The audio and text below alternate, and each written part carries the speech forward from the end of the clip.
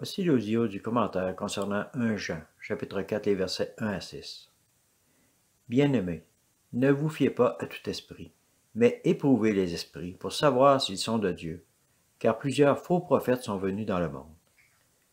Reconnaissez à ceci l'Esprit de Dieu. Tout esprit qui confesse Jésus-Christ venu en chair est de Dieu. Et tout esprit qui ne confesse pas Jésus n'est pas de Dieu. C'est celui de l'Antéchrist, dont vous avez appris qu'il vient et qui maintenant est déjà dans le monde.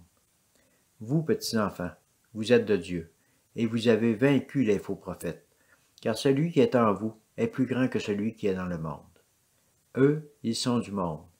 C'est pourquoi leurs paroles viennent du monde, et le monde les écoute. Nous, nous sommes de Dieu. Celui qui connaît Dieu nous écoute. Celui qui n'est pas de Dieu ne nous écoute pas. C'est par là que nous reconnaissons l'esprit de la vérité et l'esprit de l'erreur. Jésus-Christ, le Sauveur du monde. Mais de quel monde? Car plusieurs n'en veulent pas, ne veulent pas en entendre parler. Plusieurs le connaissent, mais renient ce qu'il est, le Fils de Dieu. Musulmans, témoins de Jéhovah, juifs, bouddhistes, etc., connaissent le nom du Fils de Dieu. Mais pour eux, il ne peut être Dieu.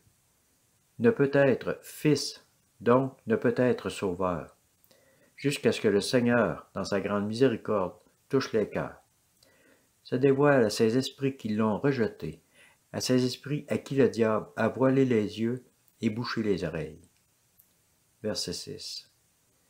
Nous, nous sommes de Dieu. Celui qui connaît Dieu nous écoute. Celui qui n'est pas de Dieu ne nous écoute pas. C'est par là que nous reconnaissons l'esprit de la vérité et l'esprit de l'erreur. Mais le Seigneur est patient. Il ne veut pas que ses enfants, même ceux et celles qui ne savent pas encore qu'ils le sont, ne périssent. Il use de patience, de miséricorde, d'amour si intense que lorsque l'on est touché par cet amour, le voile est enlevé et les oreilles débouchées. La repentance est là, et gloire soit rendue à Dieu par Jésus-Christ. Le réveil s'ensuit, des âmes sont sauvées pour le royaume de notre Dieu. Amen.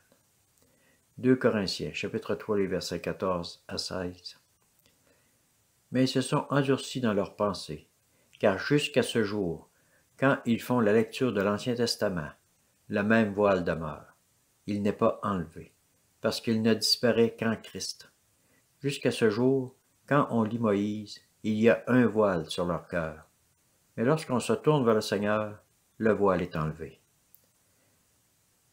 Alors toi, à qui une grâce a été faite, car nous étions nous aussi voués à la perdition avant que le Seigneur nous touche, ôte le voile, nous purifie, nous sanctifie et nous garde dans son amour. Prie pour tous ces gens qui ont un voile et un esprit d'erreur en eux, pour que le Seigneur fasse luire sa lumière sur ces gens, que le monde, avec leurs fausses doctrines, ont aveuglé et voué à la seconde mort. Jean chapitre 8, verset 12.